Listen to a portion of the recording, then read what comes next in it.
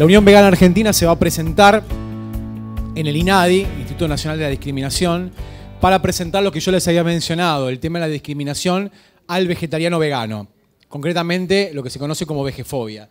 La vegefobia es un mecanismo que tiene que ver con la segregación, el odio, la discriminación, la aversión a determinadas personas por la condición, en este caso, de una vida o una visión filosófica de la vida empática determinada. No es solamente por lo que uno impone en el plato de comida, es decir, es toda una, filosofía de vida. Aquel que es vegano también quiere que no utilicen sus impuestos para financiar la pesca, la ganadería y demás. Y quiere una visión diferente, un modelo diferente del país. Ahora, la vegefobia funciona como mecanismo no solo directo de aversión, es decir, lo que vimos en el capítulo de Los Simpsons, no vive de ensalada, te vas a casar con un tomate, etc. O sea, lo que es lineal, es decir, la discriminación, el bullying normal que se produce este, en un colegio, por ejemplo, que no hay que minimizarlo porque tenemos el caso paradigmático de un chico en San Luis que tuvo bullying durante cinco años, terminó saliendo de ese colegio con graves problemas de depresión y tres intentos de suicidio. En el Reino Unido, el chico que también había elegido eh, esta filosofía de vida y decidió no comer carne, los compañeros lo recibían en el colegio, en Winchester, tirándole bifes y pedazos de carne en el pecho. Se terminó ahorcando. Entonces, eh, no es un tema menor el tema de la vejefobia, porque linealmente, como yo les estoy manifestando, linealmente tenemos una discriminación que se produce en forma este, directa. Ahora, subliminarmente, y acá hay que recurrir a dos o tres conceptos que los trae la doctora en psicología de la Universidad de Massachusetts, la doctora Melanie Joy, que es el carnismo y el antropocentrismo.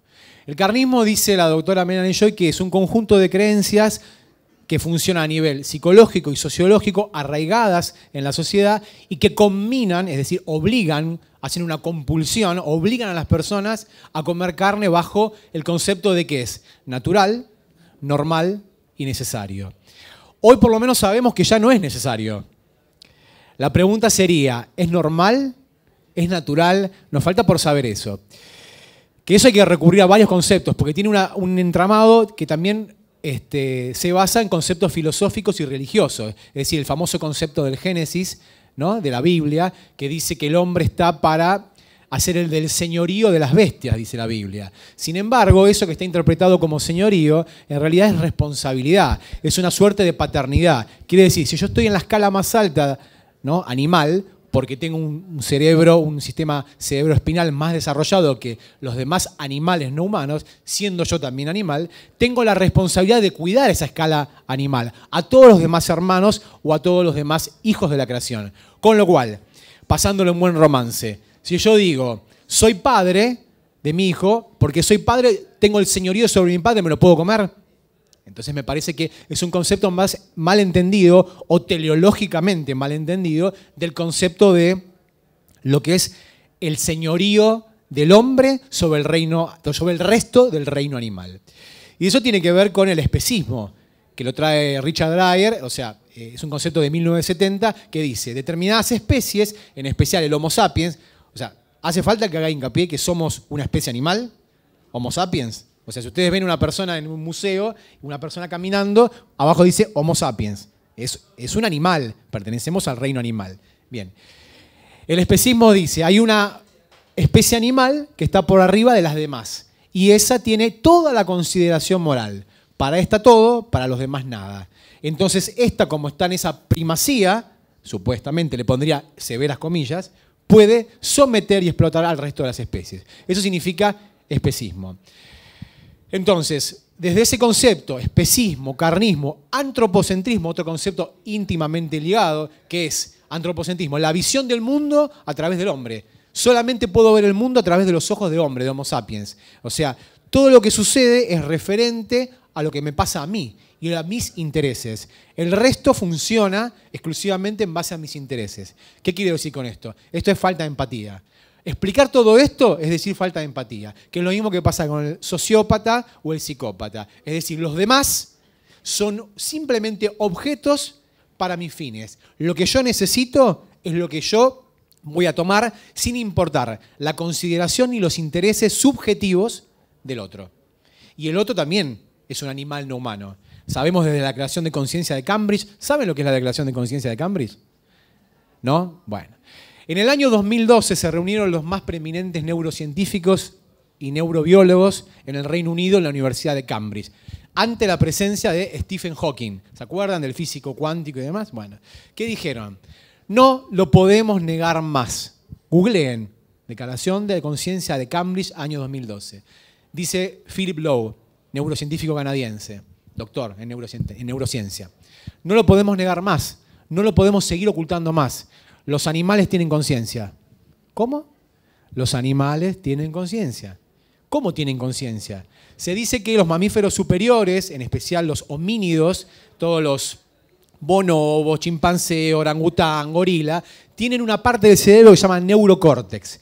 El neurocórtex, decían los antiguos biólogos, que es lo que produce los sustratos neuroanatómicos que generan conciencia. Eso es lo que generaría conciencia. Bueno, ¿qué dicen los científicos que se reunieron en Cambridge? Que no solamente estos primates superiores tienen conciencia y que no es necesario neurocórtex. No hace falta neurocórtex. Es decir, muchas especies animales como pájaros, moluscos y los pulpos y demás, tienen sustratos neurológicos, neuroanatómicos y neurofisiológicos que no son neurocórtex, pero que generan conciencia igual. Eso lo dicen los científicos que se reunieron en Cambridge. Entonces dicen, por lo tanto, ese tipo de sustratos neurofisiolatómicos y fisiológicos emulan el neurocórtex de los primates y mamíferos superiores y por lo tanto tienen conciencia. El animal más inteligente de la Tierra, ¿cuál es? No el ser humano. ¿eh? No, el cuervo de Nueva Caledonia.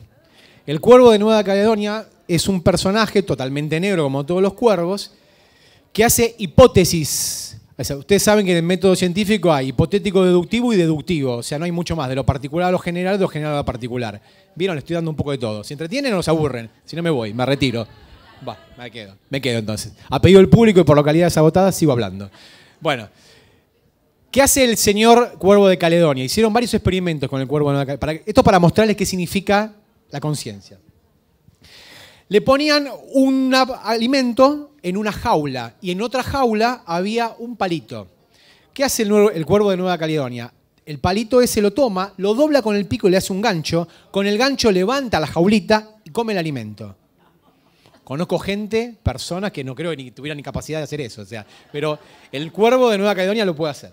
Bueno. O sea, con el pico así, levanta la tapita y come el alimento.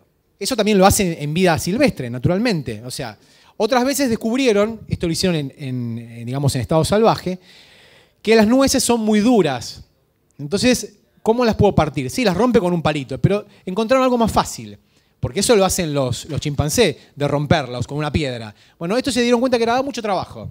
Entonces vieron que por la carretera pasaban autos y que los autos rompían cosas. Entonces se paran en el borde de la carretera y tiran las nueces a la autopista. Entonces los autos las rompen. Cuando terminan de romper, comen. Y en tercer lugar, superior. En tercer lugar, hicieron un experimento que se llama el sujeto escondido, que es así. Es una, una cuestión conjetural. Miren esto. Ponen una jaula, adentro de la jaula ponen alimento y ponen una tela. La tela es para que se oculte, sería el sujeto causal escondido, que sería una persona, un tercero. Entonces, en la primera, experiencia, se mete un sujeto, una persona, uno de los científicos, detrás de la este, tela. Entonces el cuervo mira, se, se metió alguien y ve que se mueve la tela. Entonces dice, voy a comer mirando para acá por si alguien aparece en la tela. Eso es una conjetura, no puede saber si va a suceder. Los animales en general, aún con conciencia, no pueden predecir o conjeturar lo que va a pasar. Está conjeturando que por ahí sale, entonces come así. En la segunda opción, el mismo cuervo, la persona sale de la jaula y deja la tela esa donde estaba escondido, el sujeto, el sujeto causal oculto. Se retira. Perfecto, se fue. Entonces, ¿qué hace en la segunda secuencia a sabiendas de que la persona había salido de la tela? se pone de costado y come tranquilamente por adelante porque conjetura que no está más sino hay peligro. Todo eso es de un nivel superior de conciencia y no tiene neurocórtex.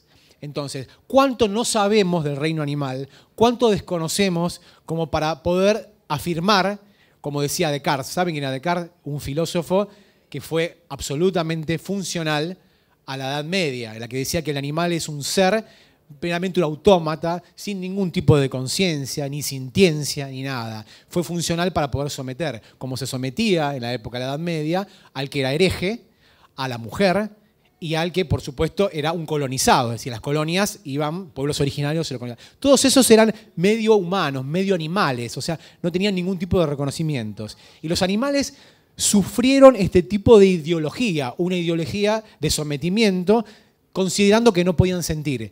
Ahora, muchos de acá son vegetarianos y veganos. ¿Han visto lo que pasa cuando se llevan al ternero? La vaca que hace, llora una semana entera, grita, la llama, o sea, sienten, sufren la pérdida de sus seres queridos, sienten alegrías cuando lo vuelven a ver. O sea, todo el tiempo hay, ya ni siquiera estoy hablando de ciencia. ¿Hace falta recurrir a la ciencia o sale del corazón o de la observancia? Es meramente empírico. ¿Qué basta? Mirar para darnos cuenta que los animales sufren, sienten y tienen conciencia. Entonces, desde el momento que llegamos a esa conclusión, ¿a dónde, a dónde vamos a, arribar? Como, porque esto es un silogismo lógico jurídico. Es decir, si digo, cuando llueve me mojo, el paraguas me protege de la lluvia, está lloviendo, me pongo el paraguas. Sería lo más lógico. Esto es lo mismo. Los animales sienten, sufren las pérdidas, se alegran, tienen conciencia. Por lo tanto, son personas, no humanas, porque tienen lenguaje, comunicación, sintiencia, conciencia. Ergo, menos como. Me parece que no es un silogismo que termine correctamente. Hay una falacia. Entonces, la falacia hay que rectificarla y decir, bueno, en la última etapa, la, la conclusión de ese silogismo es los animales tienen derechos. Los animales son sujetos de derechos. Y retomando lo que dije, la vejefobia es un mecanismo primero directo. Me río, hago un bullying directo sobre la persona. Pero ¿qué pasa cuando lo que estoy haciendo es sin saberlo? Porque este es el problema. ¿Qué pasa cuando ese acondicionamiento, el carnismo, el antropocentrismo y demás, que forma parte de un mismo fenómeno, ¿no? Un mismo fenómeno que también se expresa en en el otro aspecto, en lo que significa, por ejemplo, tomar una minoría que ya no lo es tal, pero en ese momento lo era, Recordemos que hace 400 años la raza negra era una cosa, cosa, objeto, propiedad de una persona. Hace 50, 60 años la mujer no votaba. No votaban las mujeres. O sea, parece que estoy hablando de ciencia ficción, de algo que sucedió hace 600 años o en otro planeta. No, sucedió acá.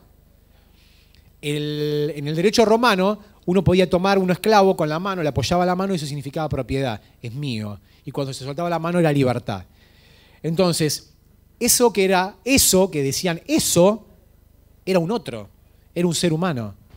Y ese animal hoy, ya habiendo agotado la etapa de la liberación de la raza negra, habiendo agotado la liberación de las mujeres, que gracias a Dios cada día están más empoderadas y ojalá puedan dirigir más la sociedad, porque tienen mucha más sensibilidad que nosotros los hombres, muchísima más sensibilidad, que le falta. Le falta más, tenemos más racionalidad y menos sensibilidad. Necesitamos más sensibilidad, más sentimiento y no tanta racionalidad. Demasiada ciencia y poca conciencia. Entonces, ojalá nos falte un paso más, que es este, la liberación animal. Por eso decía que en la vejefobia lo que se esconde es una actitud que es funcional al sistema del carnismo. Cuando yo me burlo, pero dale, comete un asadito, no seas maricón. ¿Habrán escuchado esa? Bueno, no solo se están burlando de la comunidad, de la orientación sexual de determinadas personas, lo cual también es un derecho humano, sino también se están burlando no de la persona en sí mismo, que claramente se está burlando, sino se están burlando de todo un sistema de explotación animal. Y siguen perpetuando el sistema de explotación animal. Cuando yo me burlo de esa persona, en realidad lo que estoy haciendo es consagrando el sistema de explotación de una especie respecto a las demás. Entonces la vejefobia, por eso digo, no lo tomen tan a la ligera, no es solamente para evitar que haya bullying en la escuela, la vejefobia es un mecanismo para proteger a los veganos, que es un derecho humano, ya te doy la palabra. Y también para contribuir a terminar con el sistema de explotación animal. Sí, señora. Eh, no, simplemente decirte que, también en la, misma familia o amigos te dice, no, no la quiero invitar porque es problemática, no sé qué darle, o sea, te evitan de invitar o te mandan fotos de asados. Bueno, eso es bullying. A ver. Eh, No, esto es eh, si también en esta charla que van a tener en el INADI se va a tener en cuenta los profesionales no actualizados que van a los medios y desinforman a toda la población. En la marcha, la marcha del orgullo Begui, que se hizo en el año 2001 en Francia, que no estaban disfrazados de brócoli cantando, esto no es una fiesta, en realidad nosotros festejamos porque cada vez somos más, pero en el fondo, el trasfondo es que mientras nosotros hablamos, billones de especies están siendo exterminadas. Entonces realmente siempre estamos de luto, la verdad es esa. Pero lo cierto es que estamos festejando y estamos pidiendo no solo la inclusión de un menú vegano en las reparticiones públicas, escuelas, hospitales, universidades, reparticiones públicas de la administración centralizada y descentralizada, que ya lo tienen tres legisladores y se va a reflotar. Tuvo media sanción, lo cajonearon, vamos a reflotarlo, lo estamos tratando de impulsar, sino que a la vez también es, ¿qué significa el derecho o el orgullo a ser vegano? Poner en debate que yo no quiero financiar más con mis impuestos a la industria cárnica. Porque ustedes saben, cuando pagan impuestos están, están haciendo un aporte a toda una industria ganadera. La pesca también. Que tengamos derecho a la elección de la salud. Eso es un derecho constitucional desde la modificación de la, Constitución Nacional del año 1994 y por la incorporación de los pactos internacionales. Es un derecho constitucional el derecho a la elección a la salud. Y si yo como vegano quiero elegir un profesional de la salud, como ella bien dice, que no esté en esta línea de carnismo, usted tiene que comer churrasco, señora. ¿No ve que le falta hierro? ¿Así? ¿Así? ¿A quién le falta hierro? Mi hijo no probó, mi hijo más chico tiene nueve años, va a cumplir diez, no probó nunca la leche de vaca. Su grado de calcemia en la edad de ellos es hasta 10. Él tiene 11,5. Nunca probó la leche de vaca, nunca probó un lácteo. Entonces, las pruebas están, son tan abrumadoras, pero nunca dejemos de ver, nunca dejemos de ver que quien está con los intereses puestos son los que manejan Recuerden que las universidades se forman por profesionales y esos profesionales son adoctrinados por cierto sector de la industria, que pretenden que sigan vendiendo la misma irrealidad y falsedad o falacia. Entonces, ¿qué pasa cuando nosotros, como sujetos responsables, nos hacemos cargo de nuestra salud, que a la vez es un derecho humano y un derecho constitucional? Y digo, no quiero financiar más una formación de docentes en la universidad que no responda a mis convicciones éticas, filosóficas o de salud. No quiero que se enseñe a mis hijos en el colegio, por ejemplo, que este, bueno, el chanchito, la vaquita, son para nosotros. Los animales no humanos están en el mundo por sus propias razones. Como dice el profesor Gary Francione o el filósofo Tom Reagan, son portadores de una vida. No hace falta más que eso para entender que eso es lo que están aquí para... Es como si yo dijera como Alice Walker, que decía, la raza negra y la mujer no están en el mundo para satisfacer al hombre o a los hombres o para los intereses, están por sus propias razones y tienen derechos a vivir sus vidas con libertad y sus propias subjetividades. Entonces, falta empatía y falta conciencia. Entonces, sí es muy importante no solo generar, el menú vegano es anecdótico, es anecdótico. Pero fíjense la circunstancia. ¿Qué nos pasa? Te atropellan en la calle, te rompiste una pierna, amaneces en un hospital acá con la pierna rota, acá en el centro de acá de, Cava. Al día siguiente, cuando te despertaste, ¿qué te van a dar? Con pollito, con, ah, pollito con la, la, calabaza. Y de postre, gelatina. Tomás gelatina, el hueso y colágeno animal.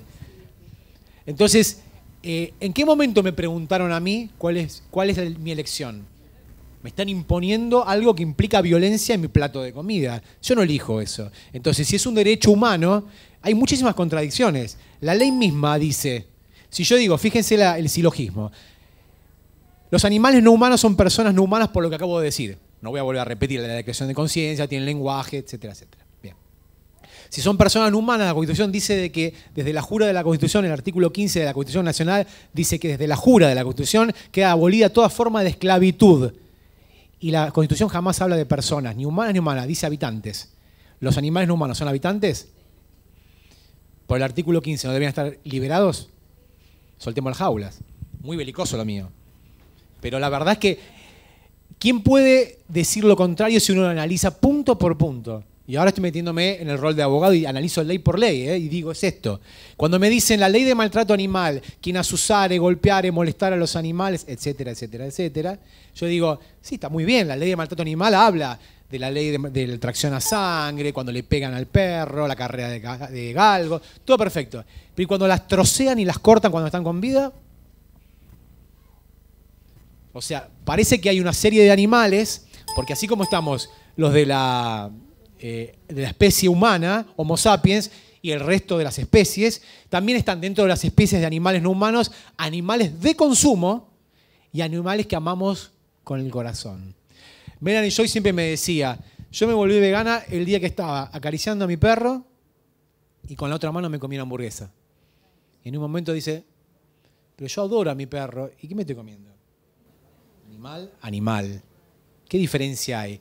Eh, las vacas que están en santuarios juegan con pelotas, juegan al fútbol, corren, eh, tienen muchísimas habilidades. No les dan la posibilidad, no les damos la posibilidad los seres humanos de desarrollarlos en libertad. No vemos lo que hay detrás porque no lo queremos ver. Por eso, como dice Paul McCartney, si los mataderos tuvieran paredes de cristal, todo el mundo sería... No queremos verlo. No lo queremos ver porque es una realidad muy fea. Y también la vejefobia esto es como dice Michel Foucault, es como una suerte de que el vigilante se vuelve el que lo están vigilando, como un panóptico. Es decir, yo creo que estoy, yo creo que estoy bulleando al otro y riéndome en la cara, no comes asado, sos un maricón. ¿no? Yo creo que hago eso. Sin embargo, yo estoy siendo funcional un sistema de explotación de las especies y a mí me están monitoreando y a mí me están utilizando. Yo que creo estar en la torre de la vigilancia, yo soy el vigilado. Yo soy el sometido y el que soy controlado. Entonces, rompamos ese paradigma. La única forma de acabar con esto es romper este paradigma. El paradigma se trabaja desde muchos flancos. Desde el corazón son los que lo hemos hecho desde el primer momento, cuando hemos visto un video que dice la verdad de los mataderos. Pongan la verdad de los mataderos y ya está. Y se darán cuenta que toda la fantasía de que a la vaca la llevan cantándole un mantra y dándole un tecito de lavanda y prendiéndole un saumerio y la arrullan plácidamente hasta que la cortan y la matan, no sucede. La vaca recibe una descarga eléctrica, un golpe con un martillo neumático en la cabeza, y apenas está meramente dormida y es troceada, cortada, la cortan en pedazos mientras grita, mientras llora, mientras se hace encima. Todo eso sucede, en cualquiera de esos videos lo van a ver. No estoy mintiendo en absoluto, ni una coma le estoy quitando. Es exactamente así. Entonces, un frente es aquel que ve eso, se conmueve y dice, no, no, no puedo seguir este, siendo por lo menos responsable o contribuyendo a la explotación. Otros dicen, yo me siento desvitalizado. Todos vemos, ¿no? O sea, decimos, la verdad me levanto a la mañana, bueno, me voy a clavar un café con una media luna de manteca. Y no rindo nada, no voy a ningún lado. En cambio, vienen los profesionales de la salud, avalados por miles de papers, avalados por la sociedad británica y europea de dietistas, y, y les dicen concretamente de que no hay que comer más carne, que hay que comer mayor ingesta de frutas y verduras. Cuando la Organización Mundial de la Salud dice la carne roja es potencialmente cancerígena, yo creo que en algunos años más, y acá lo veo al doctor Vidales, dirá, yo creo que en muy poco tiempo dirá, es cancerígena. No sé si lo dirá este año, el que viene, pero próximamente yo creo que la evidencia científica se inclinará a eso. Es decir, entonces, tomemos las riendas, este es el punto, tomemos las riendas de nuestra propia salud y busquemos entre todos cambiar el paradigma. Así que los quiero invitar a continuar esta charla. Eh, simplemente quise dejarles algunos conceptos de, para poder atar este, lo que vamos a ver a lo largo del Beckfest, que no es solamente comida, porque la gente dice, es comida, no, no es comida, es una actitud. Además, el veganismo implica una verdadera este, compromiso con el medio ambiente, por muchas causas que vamos a ver. Mañana va a venir una licenciada en el medio ambiente. Así que muchas gracias.